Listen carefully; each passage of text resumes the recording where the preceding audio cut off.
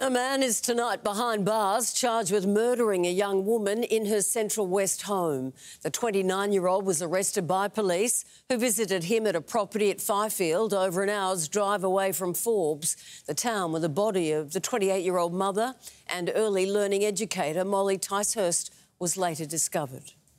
Investigations are ongoing, but as a result of the information that was provided at Fifield, led us to um, the address in Forbes and where we found the young lady.